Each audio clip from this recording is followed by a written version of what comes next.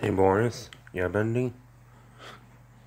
I know, remember, you know how I have my girlfriend Alice? Well, technically she's my wife, I know, but do you know, I have a girlfriend, where's your girlfriend? Bendy, do you seriously not know me? Uh, why, I know you every day, Boris, you're like my best friend. But you know I'm gay, right? You're what? I'm gay. What the?